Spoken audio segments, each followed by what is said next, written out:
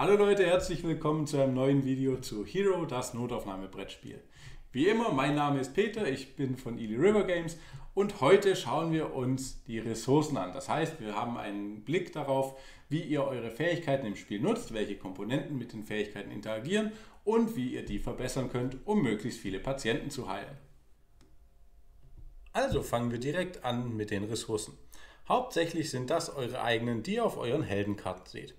Aber wie ihr wisst, haben auch die Krankenhausmitarbeiter Ressourcen und Fähigkeiten, die euch helfen können, genauso wie die Oberärzte und das natürlich alles, um am Ende die Patienten zu behandeln. Was sind jetzt aber eigentlich diese Fähigkeiten? Ihr seht es auf eurer Karte. Lizzie zum Beispiel hat äh, Rot 2, Grün 1, Blau 1 und Gelb 1. Und diese stehen in dem Fall in Rot für die körperliche Arbeitskraft. Das heißt mit anderen Worten Bizeps.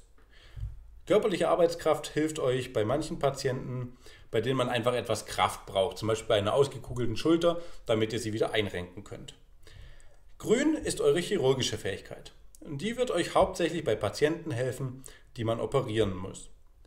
Blau ist euer Wissen in innerer Medizin, das heißt, das hilft euch bei fast allen Diagnosen, denn irgendwie hat jeder Patient etwas, das man mit innerer Medizin behandeln kann.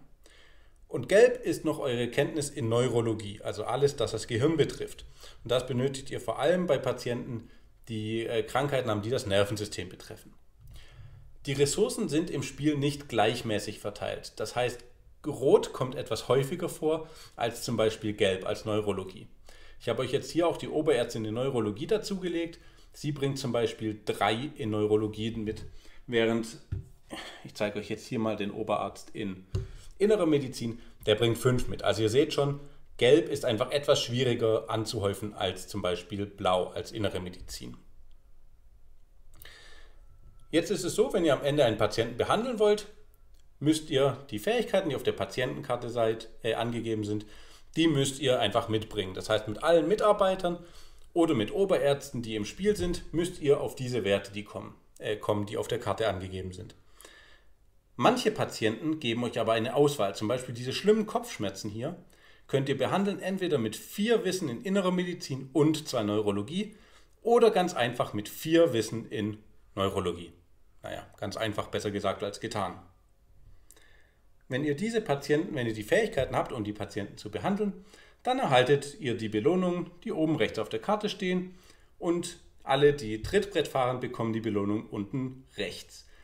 Wie genau das mit dem Trittbrettfahren funktioniert, das wird Thema eines späteren Videos sein. Ja, und das war es auch schon für heute. Jetzt habt ihr gesehen, wie ihr eure Ressourcen managen könnt, damit ihr nachher die Fähigkeiten habt, um auch schwierige Patienten zu behandeln. Wenn euch das Video gefallen hat, abonniert sehr gerne unseren Kanal, aktiviert die Benachrichtigungsglocke und ich freue mich, wenn ich euch auch im nächsten Video begrüßen darf.